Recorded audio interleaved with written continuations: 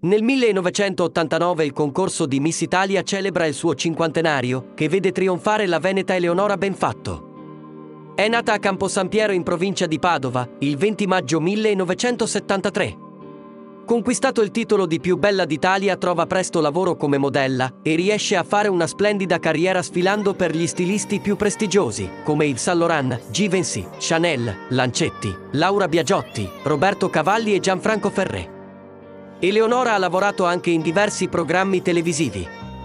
Ha partecipato alle trasmissioni Il gioco dei nove con Gerry Scotti e Il gioco delle coppie, condotto da Corrado Tedeschi. Verso la fine degli anni 90 Eleonora Benfatto conduce su Rai 1 Sanremo Classico e i più bei gol della nostra vita.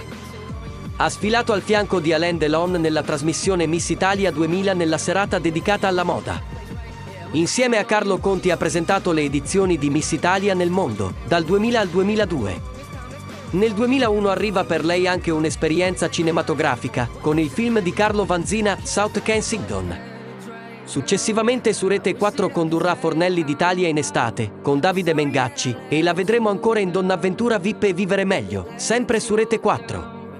Ha fatto anche l'inviata speciale nel programma Il Viaggiatore, presentato da Matteo Mazzocchi. Negli ultimi anni si sta occupando di politica. È sposata e ha due figli,